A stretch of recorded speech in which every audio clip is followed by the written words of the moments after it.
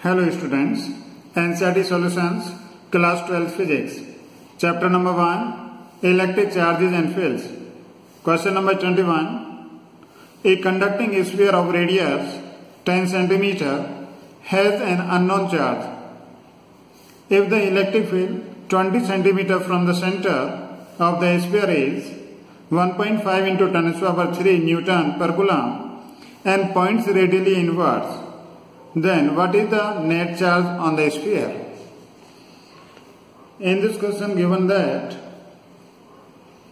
unknown charge q to be calculated and the radius of this conducting sphere suppose here this conducting sphere and the radius is capital R and this capital R is given 10 centimeter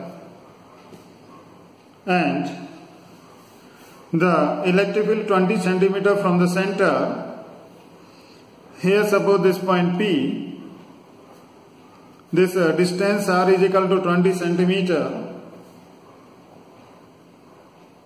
And this is equal to 0.2 meter.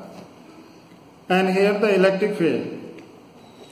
Given that electric field at point P is equal to 1.5 into 10 to the power 3 Newton per Coulomb radially inwards radially inwards electric field is radially inwards. Therefore therefore charge charge charge on the sphere is negative because the direction of electric field is always toward the negative charge. Direction of electric field is towards here negative charge. So this is charge on the sphere is negative. Now we know that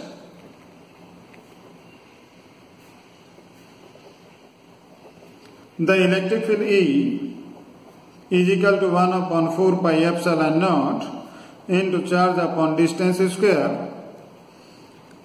On putting the values, E is equal to this 1.5 into 10 to the power 3 and this is 9 into 10 to the power 9 and the charge is minus q upon distance square is 0.2 and hence this minus q is equal to minus q is equal to this is 1.5 into 10 to power 3 into 0.2 whole square upon this 9 into 10 to power 9.